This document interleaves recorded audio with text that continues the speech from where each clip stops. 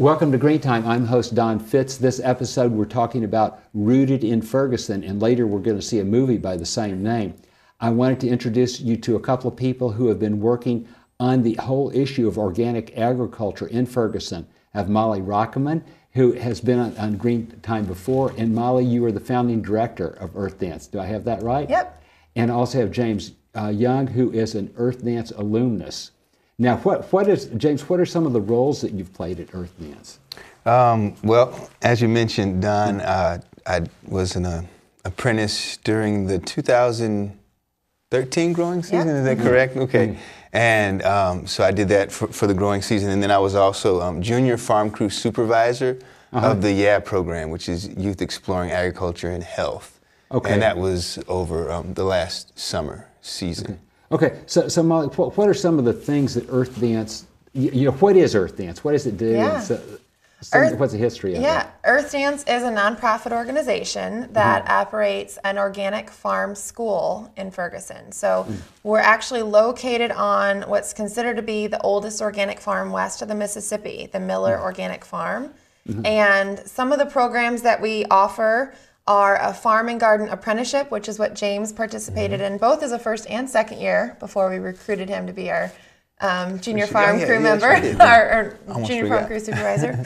and um, we also have the junior farm crew, which is part of the Youth Exploring Agriculture and Health, or our YEAH program. Y-E-A-H. Y E A H. Okay. And then we also have a lot of um, farm tours and field trip opportunities for people of all ages, as well as volunteer opportunities.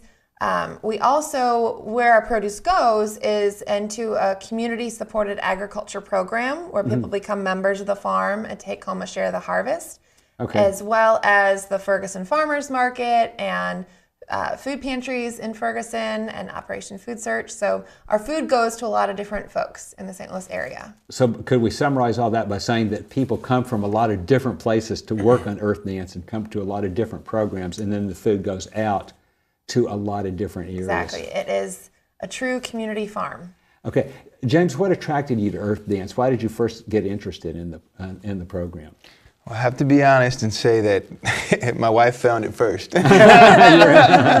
so she was interested, and um, she'll get what I think are wild hair ideas sometimes and say, Hey, what do you think about this? And then I'll come along a little later. But we had been trying to grow in our backyard and with a little bit of success, but just kind of struggling, you know, not knowing about soil and how to water and things like that. And so um, I think we were driving, actually driving past the farm really? one day and we saw a sign, organic farm class, and we're like, hey, that seems neat. That seems like a neat little house. we had no idea there was like acres behind it.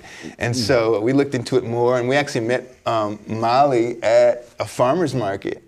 Okay. And Right. she was really encouraging, and I found out she lived in the house that I, she lives in the house that I used to live in in Ferguson when I was a teenager in high school Didn't know a whole lot about it before, but you, you got interested in it. got interested in it, and we, we had been on a journey to better health Okay. um, for a while. Um, kids have different food allergies, and my wife has some. So it, it was just it was kind of a next step for us. Okay, so so are both of you in Ferguson, or do you come from different places? Yeah, we both live in Ferguson. Okay, so it's uh, so the Fer- Ferguson. It's not just an idea where people travel to. It's, it generally reflects the community and, and the interest that the community has. Because a, a lot of, as I understand, it, a lot of people who work there actually come from North County. Well, it's interesting. Um, we were actually talking about this on the way here. Is that um, I didn't grow up in North County. I actually primarily grew up in West County, but my family's from North County, and so I was interested um, in the area primarily because I have family roots there, and then as well. The farm has a lot of roots there, both literally and figuratively, um, for the area. So um, I moved to Ferguson in 2009.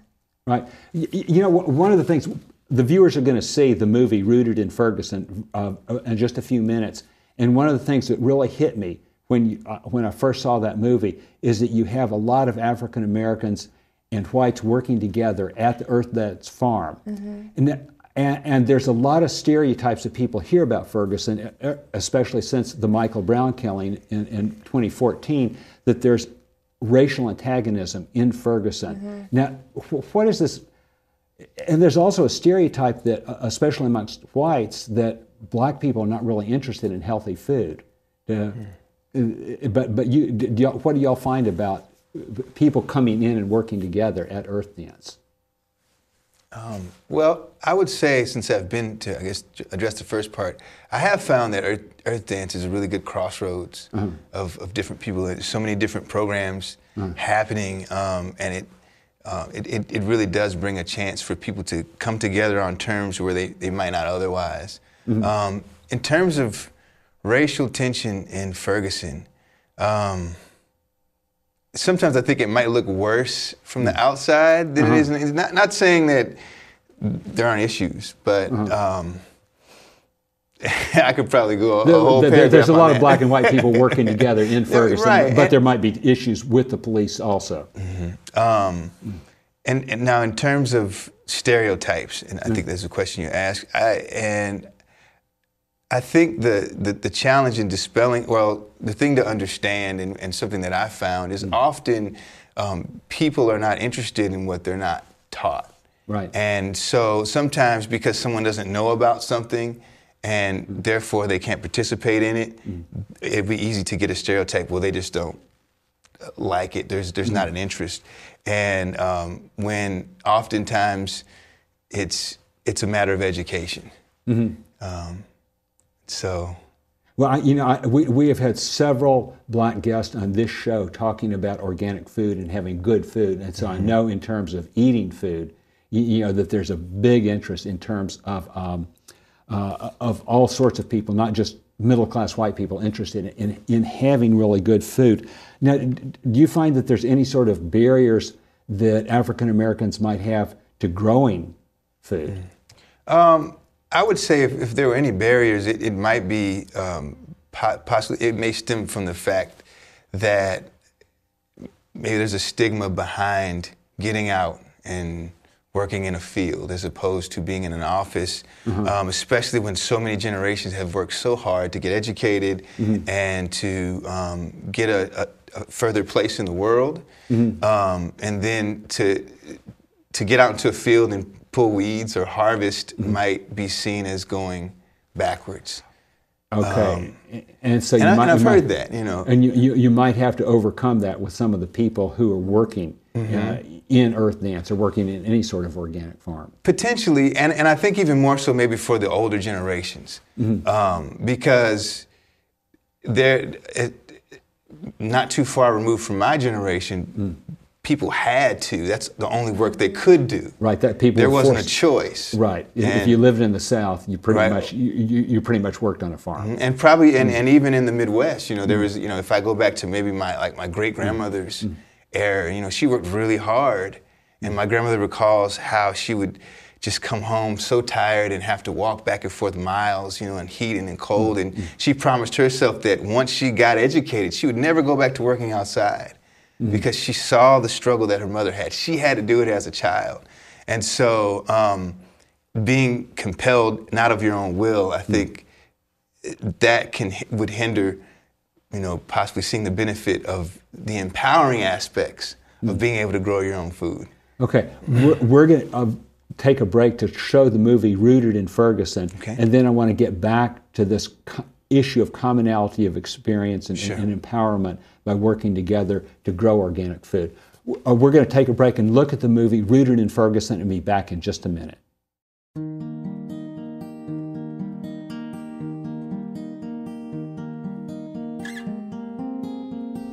Earth Dance operates an organic farm school in the middle of a neighborhood here in Ferguson. This farm is considered to be the oldest organic farm west of the Mississippi. When the last generation of millers passed, there was significant risk that this farm would be lost to development. So that is when and why I started Earth Dance to keep this farm in production. In times past, neighbors would come up and they would buy their food and, and they had a relationship with Al and Caroline. I think this is kind of a legacy continued with Earth Dance, and I think it's even bigger because you're getting a broader spectrum of people who can take part in the work here. The mission of Earth Dance, I, I love it because we are trying to regain knowledge that traditionally, you know, was passed when you were out in the farm. What I really think makes Earth Dance unique is that we're in this suburban area where we have enough acreage to grow substantial amounts of food, but we're still very close to a city and close to markets and close to people who have not grown up around farms. Earth Dance for me is a place where you learn. It's a place where you get an education in something that takes a long time to unfold, something that you can't understand just by going to a six hour class on a Saturday. Here's a good production farm that's actually caring for and creating more value on the land instead of just taking and taking, um, as is so often the case with agricultural practices. In addition to all the environmental benefits of farming organically, at Earth Dance, there's also a number of social and economic impacts. One of our apprentices this year is Sarah Fitzpatrick. She's a second grade teacher up in Florissant, and part of the reason she wanted to do the apprenticeship was to be able to learn enough about farming to bring a garden into her classroom. I think at first I was trying to use the garden as like my science curriculum because one of our standards has to do with plants and life cycles and just how things grow and change. I'm seeing it permeate through every subject area.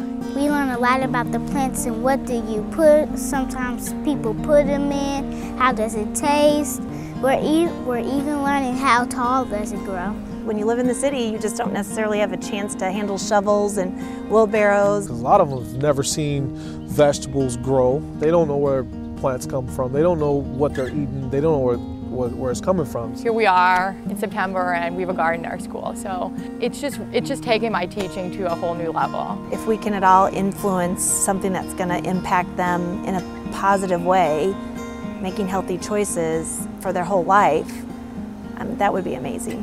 Having those experiences on the farm where they get to see, taste, touch, all that good stuff is what lays the all important foundation for when the time comes around to talk about life's biggest issues to have a framework for deciding how do they want to change the world. It takes more than just one person to propel the good food movement forward. It really takes the whole community. If we as consumers want to eat this really good healthy food that's grown locally and grown organically. We need more producers to make that happen. I never would have had the courage to undertake something of this magnitude if I didn't feel confident that I could grow healthy food in a sustainable way, and Earth Dance gave me those skills. And I'm really glad to bring that knowledge base to this farm and then be able to, to see it in action every year stronger than the year before. So Earth Dances is building a community of farms from all the different people that have encountered Earth Dance and learned things from that farm. The farm is so important because we don't come together as a community a lot. So for us to do this and grow our own food and see our own progress is very important. And I, I like that we do that because I never had an experience like this. And it was really a good experience. As Americans, as St. Louisans, and certainly as an organization based in Ferguson, we know that we face a lot of challenges. And those challenges are incredibly interlinked. Here at the farm, we've witnessed how taking care of our environment, of the land, the soil, the water, the flora and fauna, is also taking care of people and supporting our community. And it takes all of us to make this happen. Gardening, like, makes me feel like I'm really good at something. And I know I'm good at basketball and sports, but like I'm doing something for the whole world though.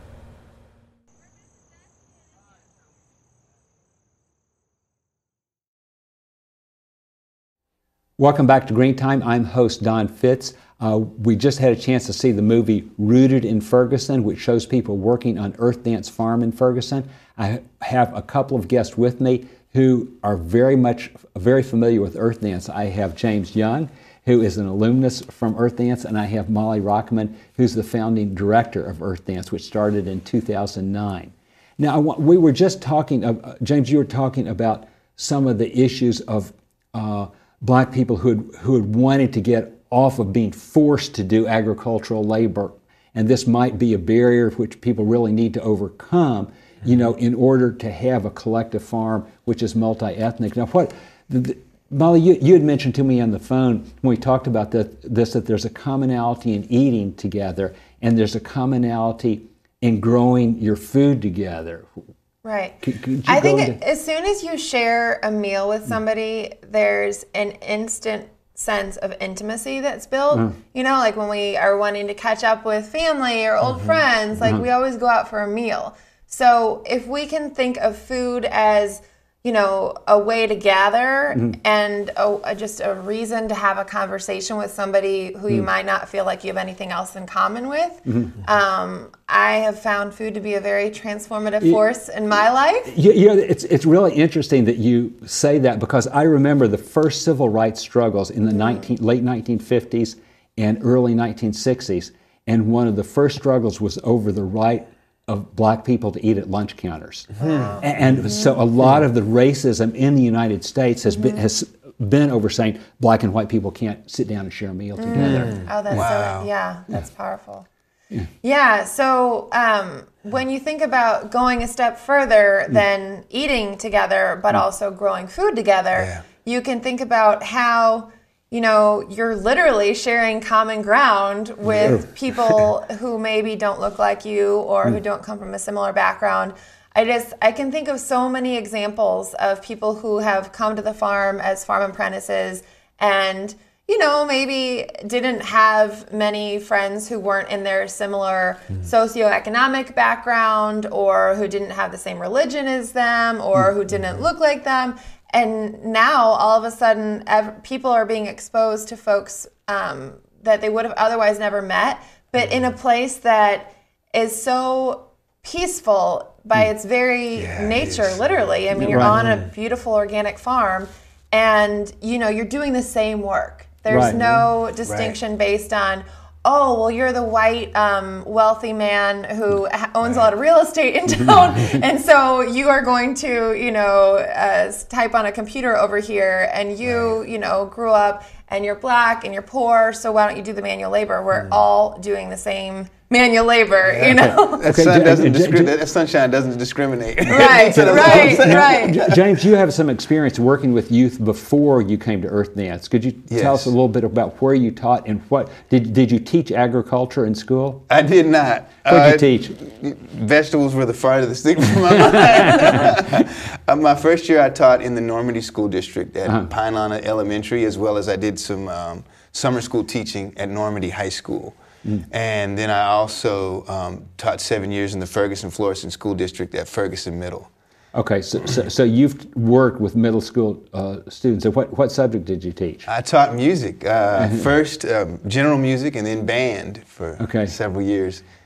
And, and, and so you, you've worked with, with a lot of the students that have, are, are you, you're used to working with youth before you came in. Yes. And so have you helped recruit and supervise young people who uh, work at uh, Earth, who participate in the programs at Earth Dance? Um, I didn't help recruit, but I did help. I did supervise um, a group of students at, at Earth Dance um, in the YAB program. And what was awesome is just to see them come alive about agriculture.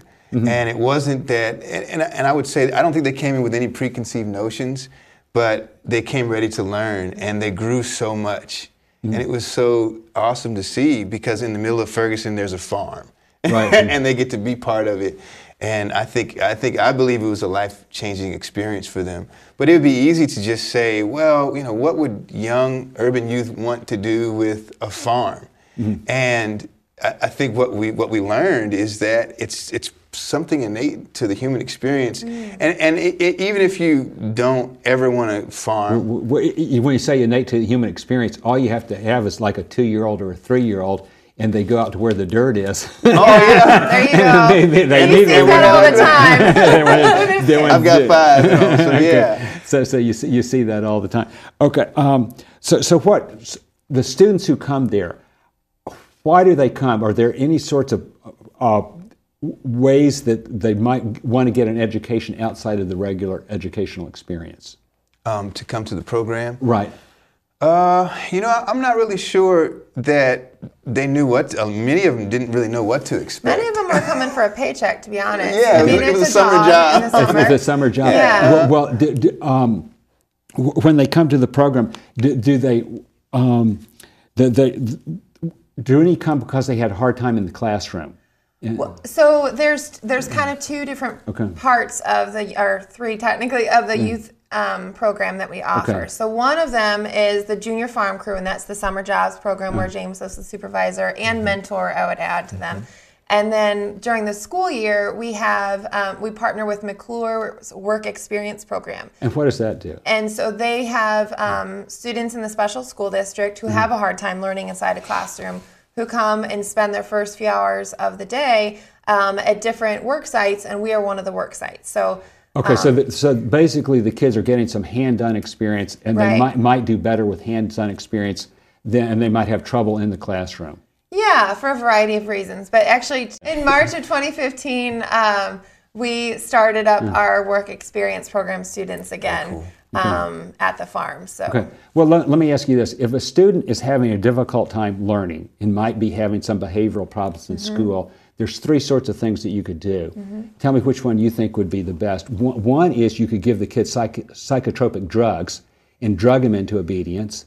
The second thing that you could do is you could put the child in um, a, a separate classroom and make him stay after school and punish him for that.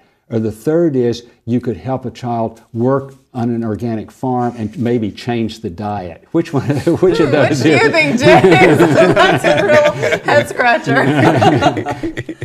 Yeah, because I see that so, I mean, and that's one of the reasons I was so enthusiastic in talking to you, both of you about the program is that I know so many people who work with children in mm-hmm. schools, and basically what they're dealt with is either uh, very punitively or they're given drugs. right. And as, as opposed to a natural diet, which we all know can really be very, very beneficial for the health and can actually help solve, work with a lot of behavioral and learning problems. So, on that note, um, there's four things that I think are important for young people to succeed in school and educational programs.